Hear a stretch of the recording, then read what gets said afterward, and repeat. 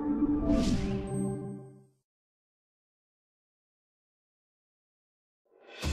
தமிழக அரசியலில் யாரிடம் அதிமுக போய் சேரக்கூடாது என்று ஜெயலலிதா விரும்பினாரோ அது நடந்துவிட்டது. இப்ப முதலமைச்சர் பதவியும் பன்னீர்செல்வத்தை விட்டு போக போகிறது. அதற்கான அவசர கூட்டம் தான் போயஸ் காலனில் தற்போது நடந்து வருகிறது. திக்கற்றவனுக்கு தெய்வம்தான் துணை. அது எப்படி ஆண்டவன் விட்டு விடுவான் ஜெயலலிதா ஆத்மா சும்மா விடாது என்று இந்த நேரத்திலும் முதல்வர் பன்னீர்செல்வம் நம்பிக்கொண்டுதான் உள்ளார். சொத்து குவிப்பு வழக்கு உச்சநீதிமன்றத்தில் உள்ளது. இதுவரை அது வெளியே வரவில்லை. அது விரைவில் வெளிவரும். இருநூத்தி பதினோரு அசையும் சொத்துக்கள் மற்றும் அசையா சொத்துக்கள் முடக்கப்படும். நான்கு ஆண்டுகள் சசிகலா மட்டுமல்ல அதிமுகவின் துணை பொதுச் செயலாளராக வர வேண்டும் என்று ஆசைப்படும் இளவரசியும் உள்ளேதான் போவார். இன்றைக்கு வேண்டுமானால் என்னை மிரட்டி எனது ஆதரவாளர்களை மிரட்டி ராஜினாமா கடிதத்தை பெற்றுக்கொள்ளலாம் ஆனால் ஜே ஆத்மா என்னை மீண்டும் முதலமைச்சர் சசிகலாவை கட்சியின் உள்ளே விட்டதுதான் செய்த தவறு என்று ஜெயலலிதாவை கடைசி காலங்களில் உணர்ந்து விட்டார் அவர் எப்படி இறந்தார் ஏன் இறந்தார் என்பது மத்திய அரசுக்கு தெரியும். அதையும் அவர்கள் கையில் எடுப்பார்கள். அதிலும் சசிகலா தண்டனை பெறக்கூடும். அந்த உண்மை தெரியும் பட்சத்தில்